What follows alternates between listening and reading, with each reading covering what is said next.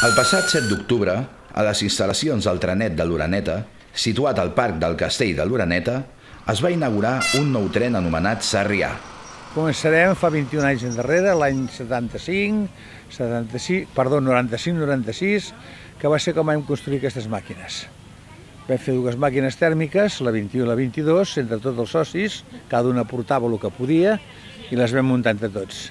Clar, ara, després de 21 anys de funcionar, comencen a estar delicades. S'ha de fer, doncs, tornejar el rodatge, s'han de canviar els motors tèrmics, s'ha de canviar el sistema hidràulic per un elèctric, i això és el que hem fet amb aquesta màquina. Canviar-la sense variar la seva estètica, la seva forma, la seva imatge, ni la seva numeració, fer-li tota la part, podríem dir-ne, de, de tracció, tota nova.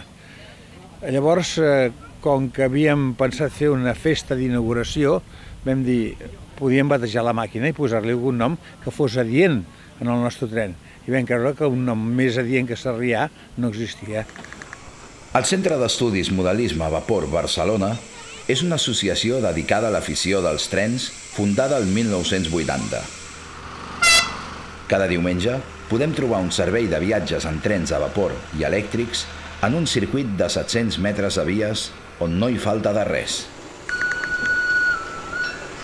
Un servei de taquillatge amb els seus bitllets perforats, el manteniment de les màquines, utilitzant carbó especial d'Anglaterra o Alemanya, un carbó que no fa ni pudor ni fum, així al passar pels túnels els passatgers no noten la sensació de fum.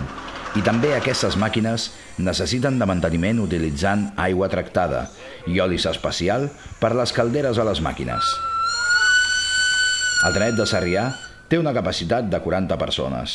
És un motor tèrmic de gasolina que produeix, és un generador de corrent que produeix corrent, aquesta corrent a través d'un variador la fem passar uns motors que són elèctrics i aquests motors són els que porten la tracció a les rodes. Eh? I així doncs, fem funcionar el tren.